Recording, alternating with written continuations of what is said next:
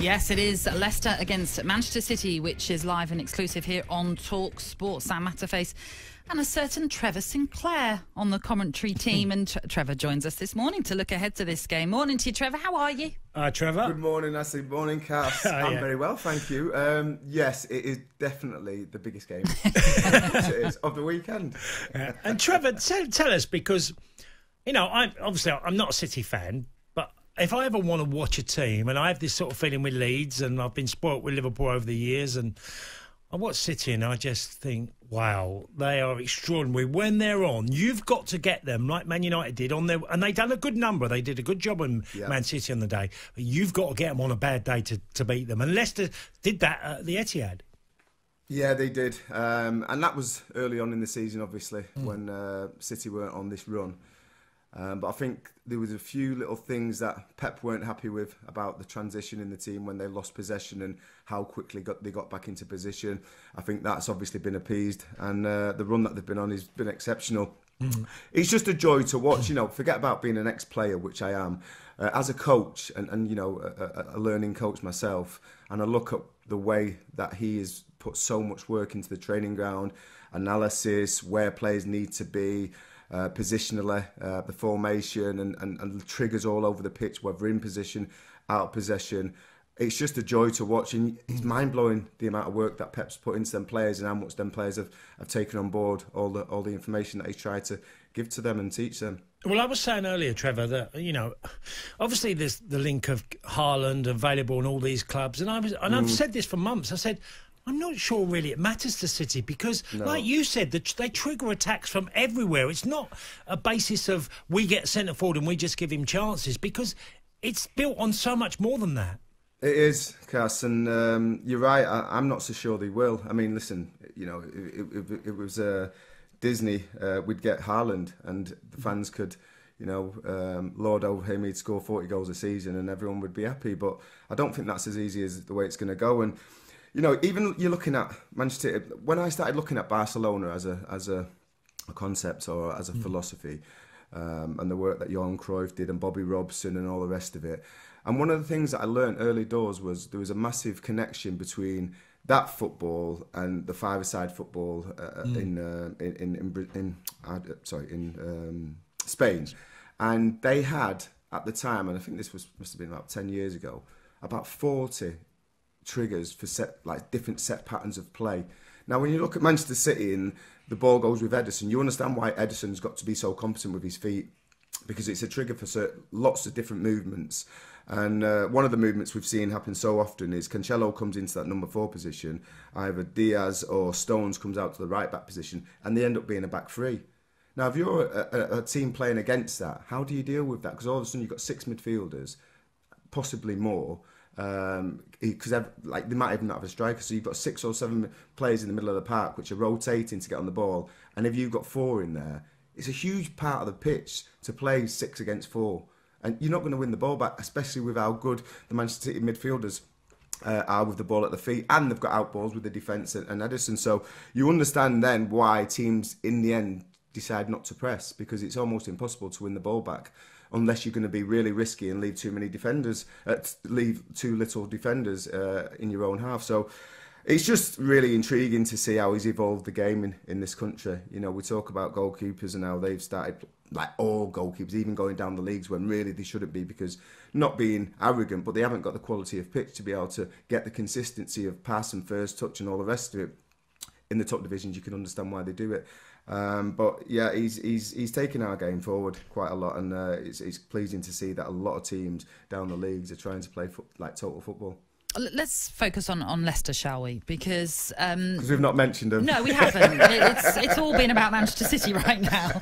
Um, but there was a you know James Maddison, Harvey Barnes. They they suffered injuries lately. Although I think James Maddison is, is getting himself back into contention now.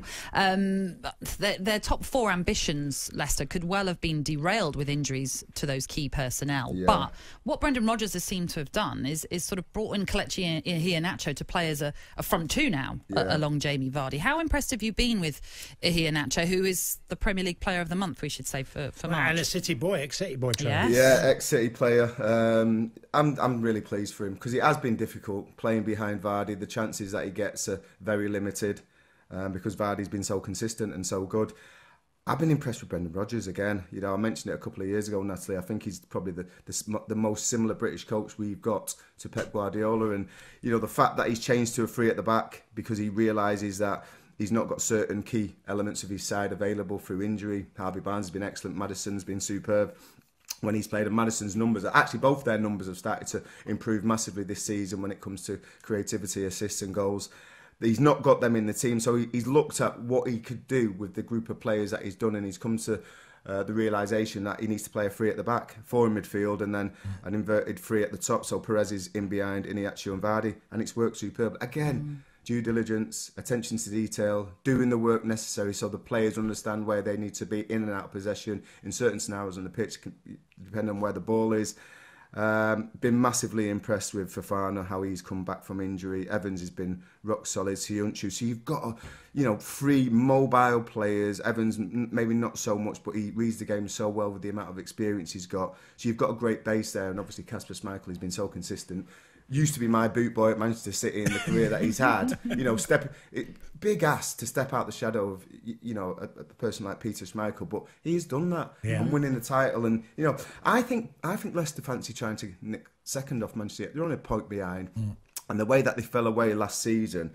Um, I think they would have learnt something something from that, and they've had a big meeting. It's been quite well documented, and I feel they feel if they can get over the line and get second this season, it'll be almost like top because you know City are miles miles ahead of everyone else because of the strength of their and depth yeah. in their squad. And uh, and on all that, I was just going to say, Trevor, that start of the season, Leicester had as bad an injury list as anybody. Yeah. Certainly defensively, they're nearly had a whole back line out.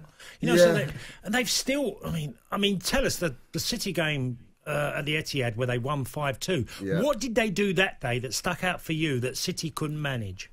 Well, they were they were very patient. I thought out of possession, but when they won the ball ball back, they were lightning quick. And when you've got a player like Vardy in the side, Harvey Barnes is full of running. Um, you've got players that can hurt you. And I've always thought the way that Manchester City play so expansive their biggest weakness is on transition. As soon as they lose possession, if you can get the ball into a you know in, into a, a, player with speed like Vardy or into a player like Harry Kane who, who's going to fight to hold it up and, and, and bring players like Son who run on behind beyond him. I think that is their weakness, and it, it's not. It's not. You know, it's not a difficult one to work out. It's just that the quality of that first pass when you win the ball back has got to be great. So the ball over the top for Vardy, it's got to be something that he's, he's got a chance of getting, and the ball into, a, say, a, a hold-up focal player like Kane has got to be something that he can get hold of. But if you get that first pass out, they're so expansive and they're so out of position and in poor positions to defend their own goal that you can really hurt Manchester City. And, and Leicester did that superbly well. And again, you know, it's pointing out the, the, the importance of that comes down to the manager. And Brendan Rodgers has obviously schooled his team into realising where their weakness is and when they can hurt Manchester City, and they did that superbly well, and they looked so good on the break. Some poor defending, I have to admit, by Manchester City on the day as well. But get, goals change games, as you know, Cass, and a few heads went in the Manchester City side that day. Um, some di- ill discipline, some kind of um, players who, for me, looked like they'd, they'd thrown the towel in. And uh, yeah, that would have been a difficult discussion in that changing room afterwards for, for Manchester City and Pep.